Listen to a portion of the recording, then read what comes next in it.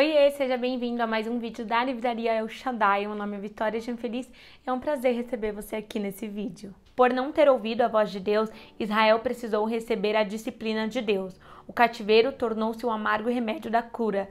O fracasso de Israel, porém, não destruiu os planos de Deus.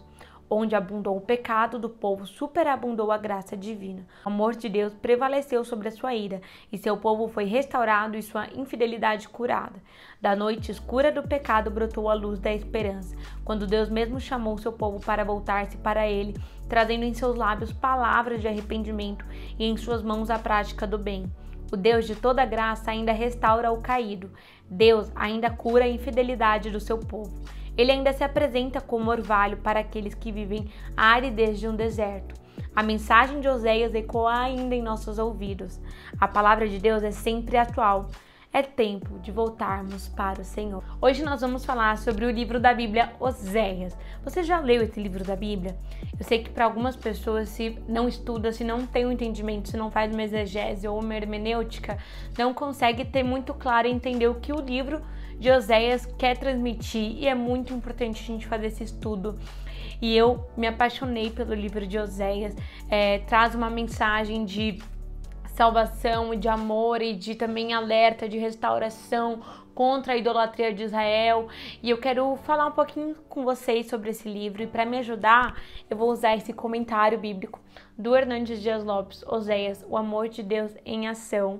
Eu amo sou suspeita para falar sobre esses comentários é, do Hernandes Dias Lopes e ele cita é, vários outros estudiosos também e traz para gente um panorama é, do livro de Oséias, muito importante para a gente estudar e ter revelação, entender aquilo que o Senhor também, a mensagem que o Senhor quis, né, passar através desse livro de Oséias. O tema do livro de Oséias, ele tem quatro partes. Ele fala sobre a idolatria de Israel, sobre a sua iniquidade, sobre o cativeiro e a restauração de Israel.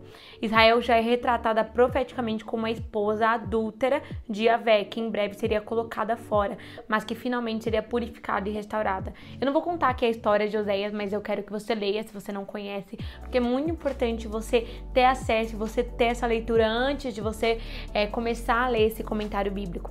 A gente usa um comentário bíblico, pelo menos eu uso, enquanto eu já li o livro, eu começo a ler ele de novo, e aqui cada capítulo e versículo vai falar, vai comentar.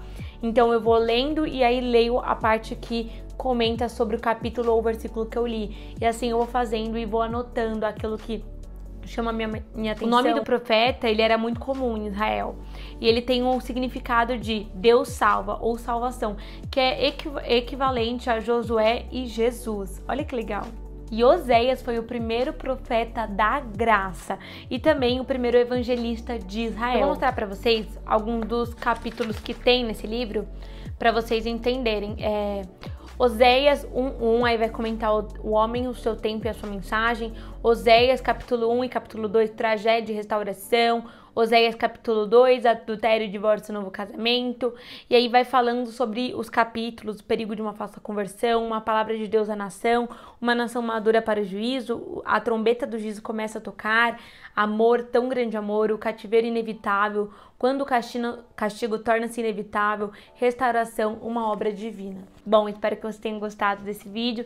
Curta, compartilha, se inscreva aqui no canal, ative as notificações e deixa também aqui nos comentários um livro que você quer que a gente resenhe. E lembrando, se você quiser adquirir esse livro, o link está aqui na descrição do vídeo. Tchau!